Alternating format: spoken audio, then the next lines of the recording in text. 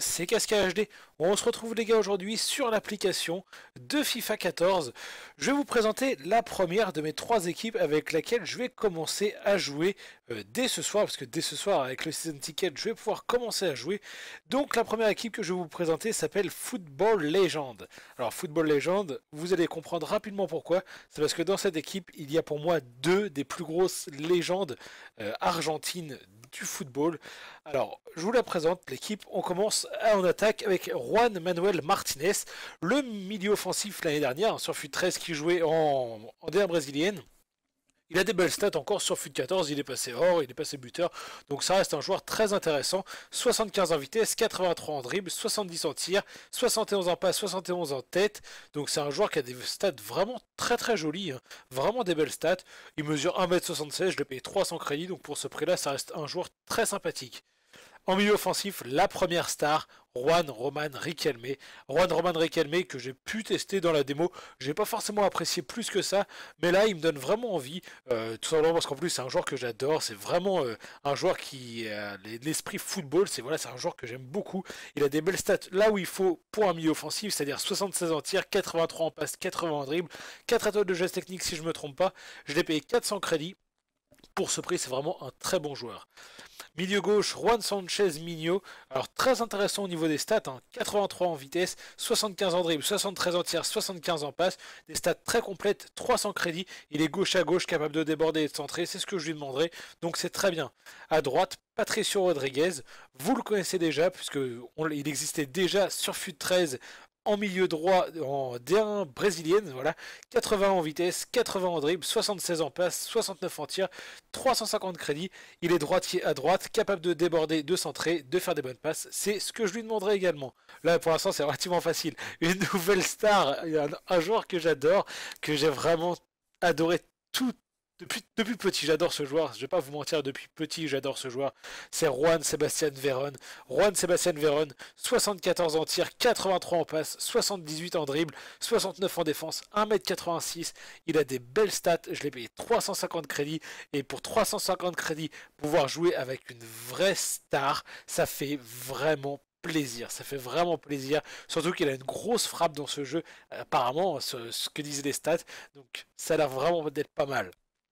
À côté de lui, une pépite, j'ai vraiment pas peur de le dire, une pépite j'annonce, Ribeir Rodriguez, Ribeir Rodriguez ou Ribeir, je sais pas comment on dit, 72 en vitesse, 75 en défense, 74 en tête, 1m83, une bonne stat en force, il a plus de 80 si je me rappelle bien, je l'ai payé 500 crédits, il est rapide, bon en tête, bon défensivement, relativement grand et costaud, tout ce qu'il faut pour un milieu défensif. À gauche, j'ai pris le plus rapide euh, des défenseurs gauche les moins chers, c'est Bruno Uribari qui a gagné. Alors, Bruno Ribéry, il a qu'une seule stat intéressante, c'est un 84 en vitesse. Pourquoi j'ai pris un défenseur latéral rapide? Parce que j'aime bien. Voilà, j'aime bien les défenseurs latéraux rapides. C'est plutôt euh, intéressant à voir, à jouer. Donc voilà, je l'ai pris juste pour ça. Sinon, il ne sert pas à grand chose. Quand j'aurai un peu plus de sous, je prendrai sûrement un joueur comme Ansaldi ou, ou je ne sais quel défenseur gauche argentin intéressant. En défense centrale, Daniel Diaz, qui jouait l'année dernière à l'Atlético si je me trompe pas, et puis a été transféré un peu plus tard à Boca. Il a vraiment des belles stats encore, 81 en tête, 78 euh, en défense, 1m83, une grosse stat en force, une grosse stat en marquage aussi si je me rappelle bien, 350 crédits, donc 350 crédits pour un vrai défenseur de métier, ça fait vraiment plaisir, c'est vraiment pas cher. À côté de lui, Jonathan Meidana, Jonathan je pense, Jonathan, Jonathan Meidana, 1m83, donc pas très grand non plus, une grosse stat en force aussi, plus de 80, 63 en vitesse, 72 en défense, 72, 77 en défense, 72 en tête. Donc vraiment des belles stats, hein, vraiment des belles stats. 350 crédits, donc vraiment pas grand chose. Très complet à mon avis avec, euh, avec, euh, avec Diaz. Ça risque d'être vraiment une bonne défense. À droite, c'est pareil, j'ai pris un joueur, euh, un joueur un petit peu par défaut, Pablo Pintos, 80 en vitesse, 63 en défense, 64 en tête, 63 en passe. Voilà, il n'a pas des belles stats. Je l'ai payé seulement 200 crédits. Donc pour ce prix-là, euh, on peut largement se permettre d'avoir un joueur moyen. On verra bien, ça se trouve, euh, bonne surprise et ce sera un gros joueur. Je ne sais pas trop. On verra bien par la suite.